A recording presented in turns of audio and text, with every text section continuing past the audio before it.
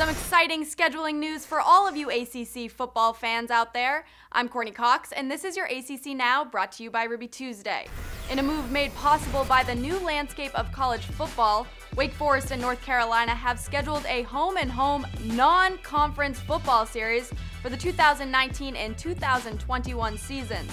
This is the first time that the Power 5 conference members have scheduled a football series as non conference games.